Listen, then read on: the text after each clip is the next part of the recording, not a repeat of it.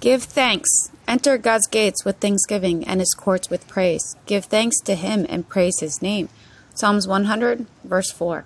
Throughout the Bible, we are commanded to be thankful.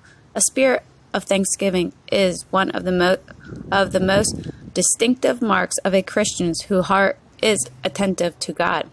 First, we are to be thankful for the material blessings God gives us. Some people are never satisfied with what they have, but what a difference it makes when we realize that everything we have has been given to us by God. Second, thank God for the people in our lives. It is so easy to take them for granted or to complain or become angry because they do not meet our every wish. But when we need to give thanks, but we need to give thanks to our spouse, our children, our relatives, and our friends. Most of all, thank God for Christ and his love for you. Third, thank God in the midst of trials and every persecution. We draw back from difficulties, but not one of us is exempt from trouble.